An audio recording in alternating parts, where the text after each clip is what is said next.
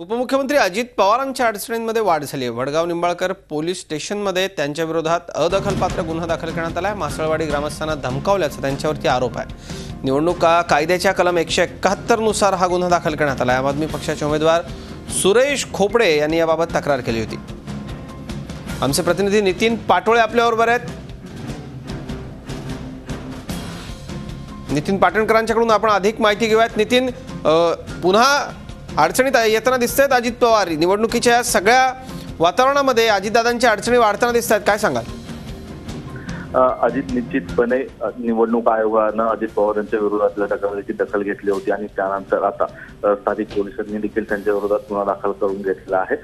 यात दिलासा अजित पवारांना असंच आहे की हा अदखलपात्र गुन्हा आहे आणि त्यांच्या विरोधात हा गुन्हा भाजपचे कार्यकर्ते आहेत. ते महादेव जानकर यांचे निवडणूक प्रतिनिधी होते.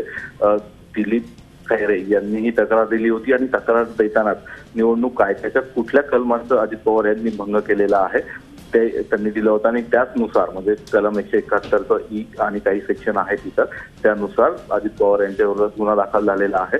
पोलीस ही गु- गुन्ह्याची ही तक्रार आणि त्यांनी दाखल केलेला गुन्हा याची माहिती जिल्हाधिकाऱ्यांना देणार आहे त्याचा रिपोर्ट जिल्हाधिकाऱ्यांना देणार आहेत.